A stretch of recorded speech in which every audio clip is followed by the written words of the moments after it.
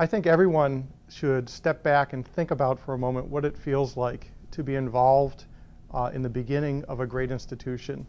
Um, our grandparents were involved in creating great institutions that live to this day. We have Symphony Hall, we have the Museum of Fine Arts.